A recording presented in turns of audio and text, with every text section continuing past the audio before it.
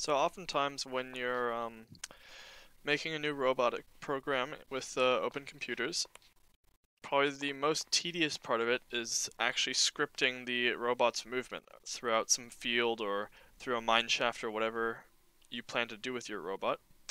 And so to try and alleviate that pain, I've uh, created a utility library called MoveScript that allows you to compress those verbose uh, robot.forward, robot.left, right, and so forth, those um, those verbose commands into a series of very short strings. Um, let me show you an example so we can uh, see how it looks. So let's uh, take this turtle, and I've already got some uh, example programs installed here, and we're going to do this first one, which takes as a single argument uh, the move script. So let's say we want to move this robot um, forward three and then back three. Normally you'd have to do three calls or a for loop or something uh, calling robot.forward, uh, but instead we just do 3f, 3b. 3 forward, 3 back. And you see it works perfectly. Um, it even works if there are obstacles. It'll wait and it'll keep trying until it can get through. And then finally it finishes. And this is, in essence, all MoveScript is. It's just a uh, script that allows you to um, define movements for, and actions for your robot in, in a much more concise manner. So let's give another example. Um, let's say we want to dig these three blocks, right? So we're gonna move, we know we're gonna move forward one, two, and then we're gonna swing, up, swing, and then we're gonna go left and swing as well. So let's see if we can write that into our program. We're first gonna move forward two, then swing, then up, then swing, then we're gonna turn left, forward, right, and finally swing. And then once we've picked up all those blocks, we gotta move back one, two, um, go down and then back one. So we do two back, uh, down, then right, forward, left. So, if I've programmed that correctly, it should move forward, dig all the blocks, then loop back around back to the start. Let's see how it looks.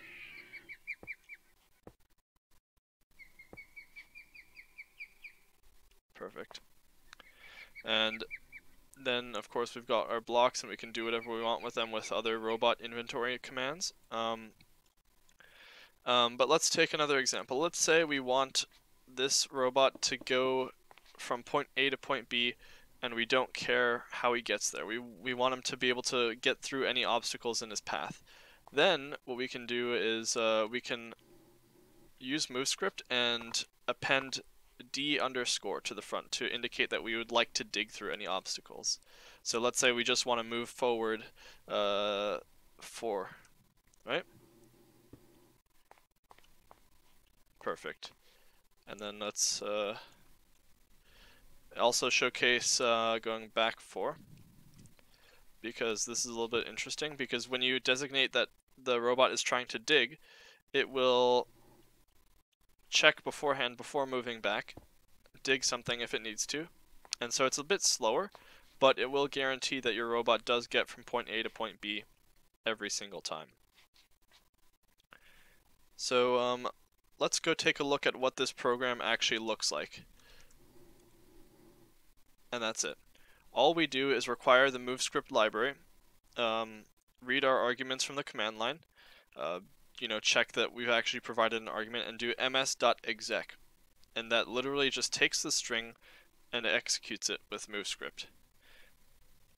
Um, let's take a look at how you would install MoveScript. That's it. That's literally it. Just paste bin get this code and install it into lib slash movescript.lua. And I'll put the pastebin link below in the description, so if you want to download this, feel free to do so. Um, and let's just, uh, let me show one more practical example of what MoveScript allows you to do that is not quite possible with uh, vanilla open computers, at least not practical, and that is uh, remote control.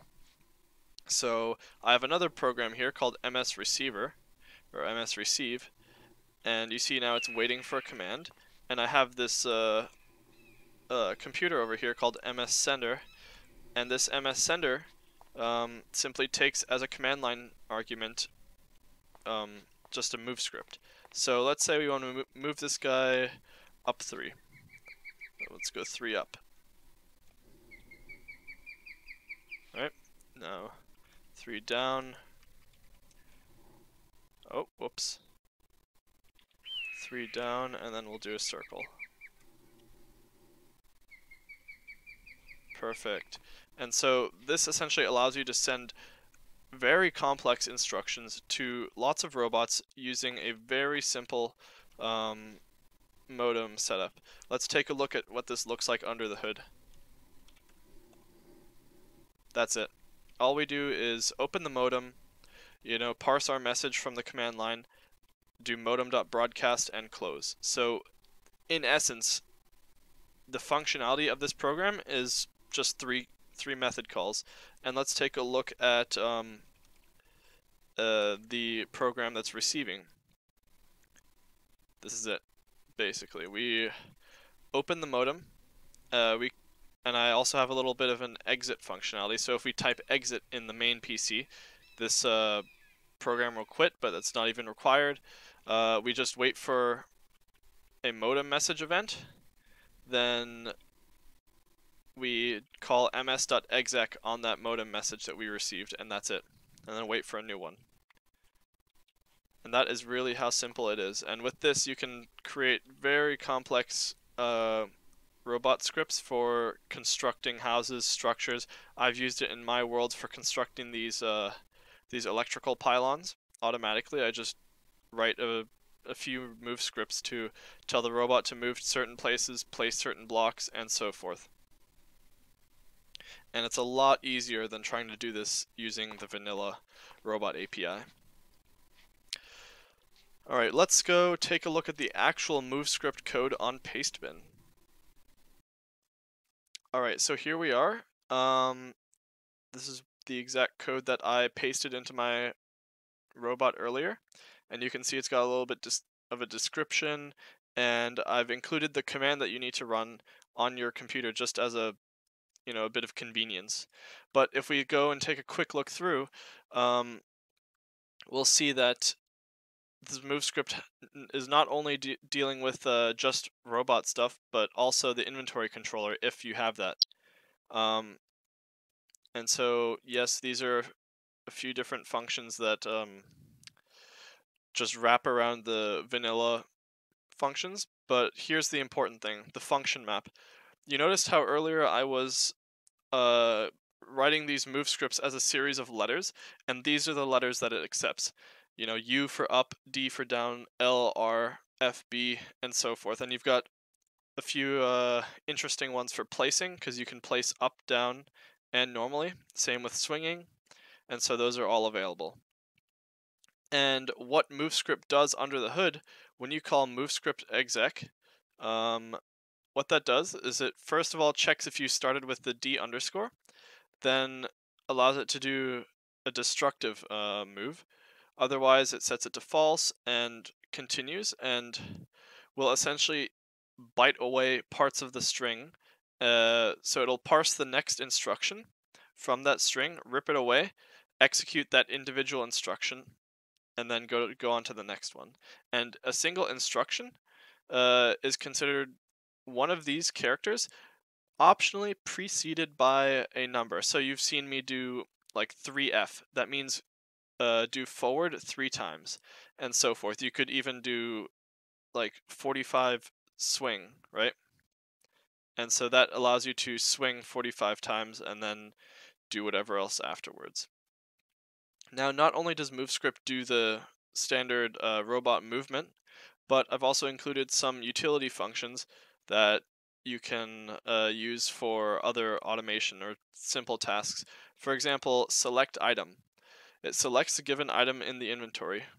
And so what this will do is if you give it a name of an item, uh, optionally a damage or whether or not you want it to match partial names, um, then it will essentially search through all the inventories in the robot and return true if it was able to select the item, or false if it wasn't able to.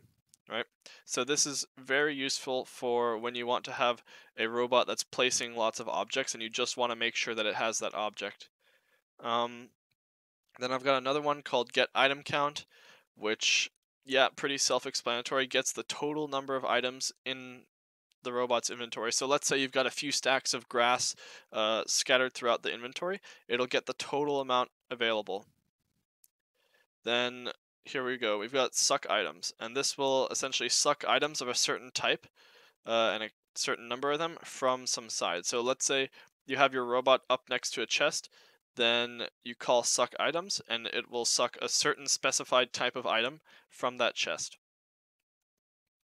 Then we've got another one called drop all except and this will simply clear everything out of the inventory of the robot except for some specified item.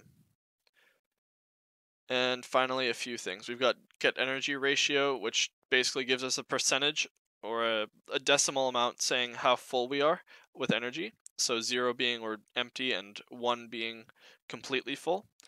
And finally, another utility method which simply keeps on sleeping until the energy of the robot reaches um, some desired minimum ratio. And this is useful for when your robot is uh, solar powered or is sitting next to a charger. This way you can just call this method and once it clears, once you uh, move on, you know that your robot is fully charged again. So yeah, that is the MoveScript uh, library. And let's uh, go back here. So yeah, um, see if you can uh, integrate this into your own robotics projects. It should make it a lot easier to uh, achieve more complicated um, robot scripts than uh, vanilla. So yeah, that's about it. Uh, thanks for watching.